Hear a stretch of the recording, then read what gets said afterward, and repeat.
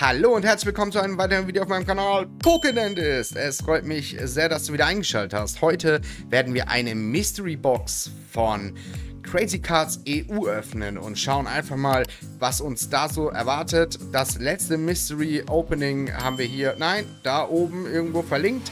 Da könnt ihr gerne mal reinschauen und ich würde sagen, gar nicht lange rumreden und ab in die Mystery Box. So, und da wären wir auch mit der crazycards.eu Mystery Box für 50 Euro. Wir öffnen das ganze Ding mal. Also ich habe es noch nicht geöffnet. Ich habe hier, wie man sieht, ist da ein bisschen klebrig. Da habe ich meine Adresse weggemacht und ich würde einfach mal sagen, ich habe auch keine Ahnung. In der letzten Mystery Box von Crispy Cards war es äh, so, dass da direkt die, die Ware drin war quasi. Und jetzt schauen wir mal, ob das hier ebenfalls so ist. Ich habe keinen Plan. Würde mich auf jeden Fall... Achtung. Doch, direkt. So. Ich sehe ein lachendes Gengar. Ich sehe 151. Und schauen wir mal. Das hier ist schon mal immer eine coole Sache. Das ist offen. Das ist auch offen. Und das hier ist verschlossen. Und hier ist noch eine andere Sache. Würde sagen, das sieht irgendwie fancy aus. Also nicht wirklich fancy, aber das heben wir uns mal für den Schluss auf. Ich dachte irgendwie, diese Mystery Boxen sind alle so, äh, dass sie nochmal in so einer coolen Verpackung sind. Aber so, ich habe keinen Plan. Achtung. Okay, es sind auf jeden Fall ist eine Lugia-Pin äh, drin. Dann haben wir ein Lugia, das ist aus der, alles aus der Crown Senate, Scarlet and Violet und Paradox Rift Booster. Ich werde wieder äh, mal dann aufschreiben, was genau, ähm, ja, für einen Wert das Ganze hat. Ich glaube, hier sind nochmal Booster drin. Schauen wir mal. Oh. Hier ist eine Promokarte. Die lege ich auch mal kurz dahin. Eines hier nochmal Maskerade im Zwielicht. Gewalt mit der Zeit. Und Paldeas Schicksale. Äh, Paldea Evolved. Entwicklung in Paldea, so rum. Und ich würde sagen, wir schauen uns die gleich mal an. Und... Nein! Natürlich eine 151 Relaxo. Aber... Ist doch ganz knuffig. Wie fange ich an?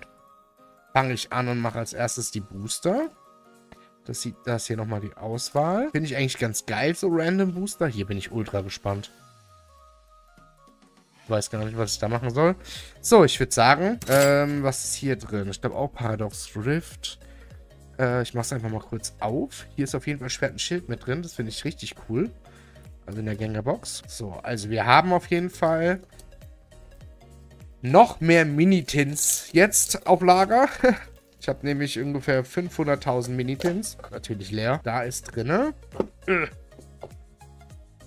Ach, das sind die neuen. Ah, okay. Nee, okay. Ich dachte eben, das sind diese komischen, die ich jetzt äh, hier einblende. Da irgendwo. Aber Shrouded Fable. Okay, cool. Habe ich noch nicht. Hier ist einmal Zorak. Oder wie der Sack heißt. Und ja, ich muss sagen, der Mystery-Faktor ist da. Vielleicht machen wir erstmal die hier auf. Würde ich jetzt einfach mal sagen. Wir wollen ziehen Cassiopa oder Cosima. Wie sie auch immer heißt. Die alte, nette Dame. Codekarte für euch. Letztens hat sich jemand in einem, in einem Short tatsächlich beschwert, dass man die Codekarte nicht lesen konnte. Das war auch der ganze Inhalt des, Kommen, äh, des Kommentars. Das war sehr traurig. Gerne bei meinen Shorts vorbeischauen, jeden Tag. Unterschiedliche Uhrzeiten. Ich habe da noch nicht so den Rhythmus gefunden. Morgens um 10, mittags um 3, abends um 6. Je nachdem, was ich denke, was gut ist. So, und ich würde sagen, wir gehen rein mit Feuerenergie. Nein, Kampf. Mauzi. Wir wollen natürlich ziehen Snobilikat als Altart oder Illustration Rare, meine ich natürlich, nicht Altart. Hier ist der Binning Mochi. Hm, Mochi. Galvandola. Hourglass. Übrigens bisher alles Englisch gewesen, ne? Ja. Hier ist Cresselia. Eine Reverse, bla bla bla. Und Ein Kobaraya. Zweites Booster. Ich sag ganz ehrlich. Kauft keine Mystery Boxen. Die ballern euch alle Shrouded Fable rein. Ich sag's euch. Weil es keiner kauft. Das ist halt wirklich so. So, hier ist noch eine Codekarte. Guck mal. Das hat jetzt auch gespoilert, glaube ich. Und wir gehen rein mit Wasserenergie, Psychoenergie. Sneasel. Evi. Was sagten ihr zu Mystery Boxen? Würde mich mal interessieren. Die wollen wir ziehen. Niemand anderes. Außer die als, äh, Altarzt. So. Da ist schon wieder ein Mochi. Iron Moth. Ah, ich glaube, da kommt nichts. Nee. Schade, schade. Marmelade. Ich würde sagen, wir gehen jetzt hier erstmal noch rein in die geilen äh, Booster, die wir hier haben. Da fangen wir auf jeden Fall mit Paradox Rift an. Ziehen wir heute eine Altart? Glaube schon. Heute ist doch ein guter Tag für so etwas. Hier ist eine Codekarte. So, und ich sage jetzt Elektro. Kampf. Natur. Zubat. Die Medizinenergie. Ist Englisch. Ah ne, hier ist Gewalt in der Zeit. Sehe ich gerade. Absol. Und Volcanion. Ups. Als nächstes haben wir hier natürlich Gewalt in der Zeit. Da jetzt eine Altart und ähm, ja, ich habe echt lange kein Packlack gehabt. Aber wer weiß, vielleicht was hier drin ist. Sehr gespannt. Äh, keine Karte nach vorne. Und Wasser. Saremol, heute ist aber nur Kampf unterwegs. So, ist da was drin? Wahrscheinlich nicht. Thermopod. Meryl. Meryl? Ich dachte immer, das wäre ein Wasser-Pokémon. Psycho. Witzig. Eisenhals. Moruda. Noctu. Oh, guck mal, wenn man davon spricht. Und Lataha. Also die Booster-Auswahl ist auf jeden Fall ganz nice. Muss sagen, hier hat man richtig schön was zum Öffnen. Dementsprechend hat sich das bisher gelohnt. Ich habe übrigens, bin ich ganz ehrlich, bei Crazy Cards dazu geschrieben, dass sie, wenn möglich, ist vielleicht ein bisschen dumm, aber äh, keine gegradete Karte reinmachen, damit ich ähm, besser die Boxen vergleichen kann für den gleichen Preis. So, eine Karte nach vorne, genau. Und es ist wahrscheinlich Pflanze. Ja! Pflanzenenergie. Oh, da ist was drin, Freunde der Nacht. Was öffne ich hier gerade? Maskerade. So, was will ich hier raus? Äh, ich habe gerade gar keinen Plan. Ich gehe mal weiter hier hin. Die Jammer. Palim Palim und was haben wir? Habe ich schon. Glaube ich. Schade. Weiter geht es mit Scarlet Violet. Base Set. Base Set. Also hier ist die Ausbeute, aber jetzt auch schon wieder. Wie viel habe ich denn jetzt schon geöffnet? Viel zu viel. Okay, wir gehen rein mit Kampf. Nein. Jetzt ist natürlich Wasser. Dali. Was wollen wir daraus ziehen? Hier wollen wir die Altarzt ziehen von... Oh. Ja, ich blende sie ein. Das ist ja peinlich. Party. Und da haben wir Krokalor, Dolly, oh ne, Dolph und Poundstone. Und jetzt hier Paldeas Evolved. Entwicklungen in Paldea. Gut. Und jetzt ein Carpador. Dann ist alles gut. Feuer. Kein Feuer. Menki. Carpador möchten wir. Carpador. Carpador. Carpador. Carpador. Universal Energy. Clemora. Oh. Nice. Sehr nice. Das ist eine Altart, oder? Ja. Schaut mal. Schöner Papagei. Oder auch genannt Squawkabelly. Eine sehr süße Karte. Cool. Nehme ich gerne mit. Espion. Ponita. Gengar und Brüllschwein. Und wir gehen rein in das wunderbare Opening von einer Box, die noch, ah, ich glaube, einmal gegönnt hat. Habe ich auch schon geöffnet.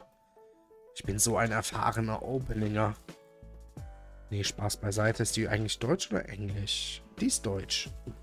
Cool. Äh, so, wir haben hier drinnen Entwicklungen, strahlende Sterne und Fusionsangriff. Und natürlich wunderbare Aufkleber, die ich sehr gut finde. Die lasse ich jetzt erstmal hier drin. So.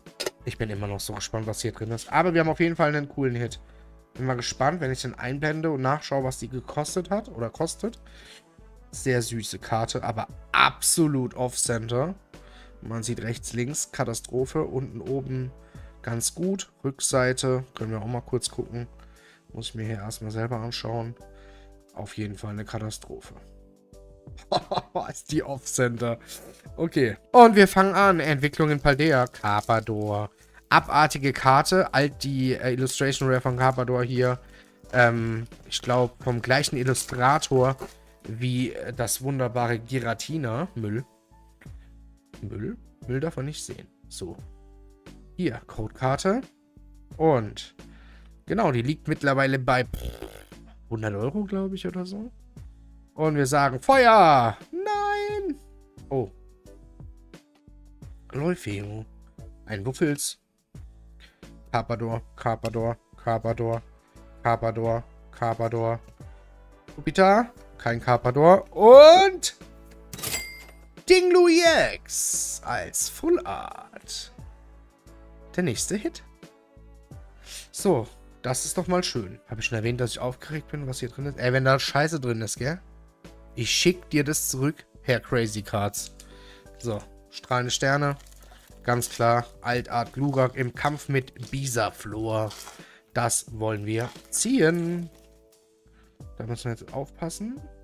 Ah, fuck. Ich glaube, ich habe mich schon gespoilert. Ich hasse es, dass die Codekarten spoilern. Ich hasse es, dass ich das überhaupt weiß. Karte nach vorne gemacht? Ich weiß es nicht. Oh, stopp. Oh nein. Ich muss ja vier nach vorne machen. Habe ich schon eine nach vorne? Ich mache mal eins, zwei. Doch, ich hatte schon eine vorne. Und wir haben eine Bisa-Karte. Pachiraisu. Simlovuria. Obai. Porenta. Glurak. Glurak. Glurak. Glurak. Klick-Klack. Und Knackrack. Holo übrigens. Wunderbar. So. Wer sammelt denn diese Holo-Karten? Außer so irgendwie der fünfjährige Manfred aus dem Kindergarten nebenan. Last Pack Magic. Codekarte. Müll. Eins, zwei, drei, vier. Und wir hoffen.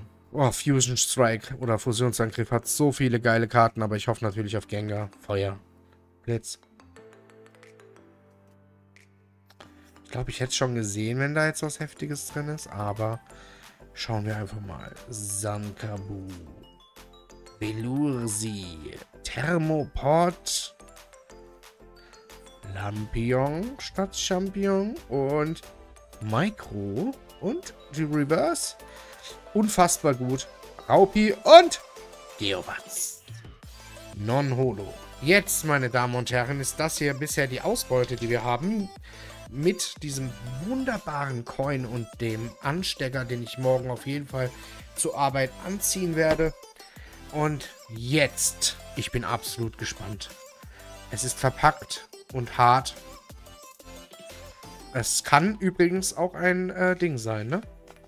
Ein Vintage Booster, das wäre ja geisteskrank. Ich sag's euch ehrlich, wenn da jetzt was Heftiges drin ist. Ich habe gerade meinen Opener gesucht. Wenn da ne, ne, äh, irgendwie ein Vintage-Booster drin ist, ein richtiges, also nicht Sonne und Mond, dann öffne ich das nicht in diesem Video, sondern zerschneide es einfach dann off, äh, off, und ja, so, nein, Spaß beiseite. Wir schauen rein. Was ist es? Wehe, das ist jetzt einfach noch ein normales Booster.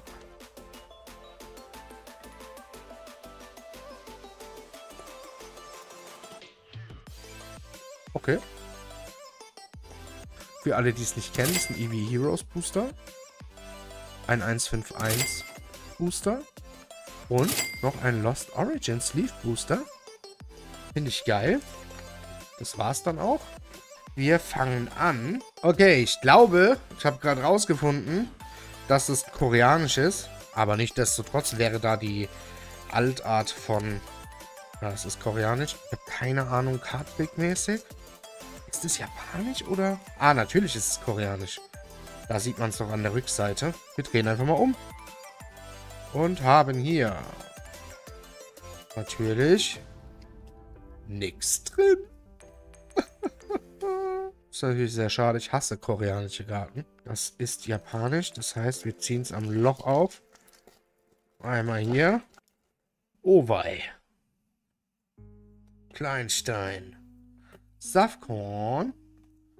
Ui. Okay, Pokéball Reverse Ultrigaria. Und Pantimos. Also, ne. Last Pack Magic. Naja, ich glaube, was man hier rausziehen will, äh, ist eindeutig. Es ist nämlich himself, Giratina Altart. Alter, wie verklebt ist denn das? Bro. Okay, Giratina. Pack. Im Giratina-Pack. Und ja, es wird mich sehr interessieren. Was sagt ihr eigentlich zu Mystery Boxen? Das ist jetzt die zweite, die ich geöffnet habe. Es wird mich wirklich sehr interessieren und gerne mal in die Kommentare schreiben. Auch wenn ihr mehr solcher Videos sehen wollt. Es gibt noch einige Anbieter von... Achtung. Zack, Codekarte von... Äh, was wollte ich sagen? Es gibt noch einige, viele Anbieter von Mystery Boxen. Leider ist oft ein Slap oder so dabei.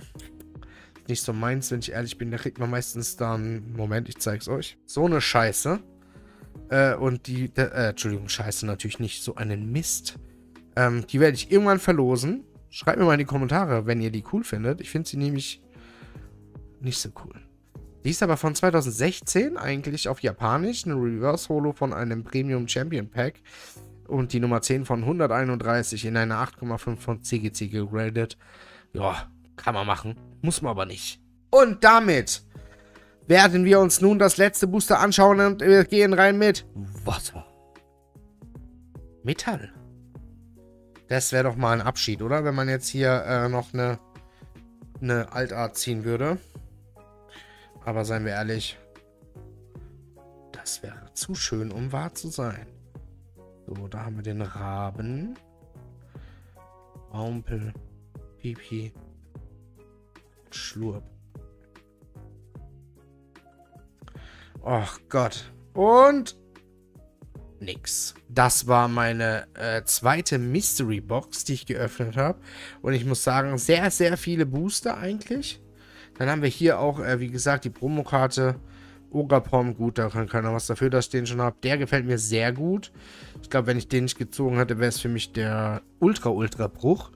Ähm, und hier noch Dinglu, dieser Holzelch. Äh, ja, als Full-Art-Karte. Aber auch ganz schön. Aber übrigens auch extrem off-center. Weiß nicht, was mit diesen Karten passiert ist. Ja, gut, das koreanische EV Heroes, darüber brauchen wir uns äh, nicht unterhalten. Das ist natürlich die absolute Katastrophe. Ich finde, koreanische Produkte sollten von Mystery Boxen fernbleiben. Äh, dann, das ist schon irgendwie was sehr Spezielles. Aber immerhin Eevee Heroes und nicht irgendwas anderes. Von daher kann man sich jetzt auch nicht so arg beschweren. Ich rechne dann mal alles hoch äh, zusammen und ähm, ihr seht dann, was ich im Endeffekt für einen Wert daraus gezogen habe. Beziehungsweise jetzt erstmal nur der Boosterpreis und so weiter und der Artikelpreis.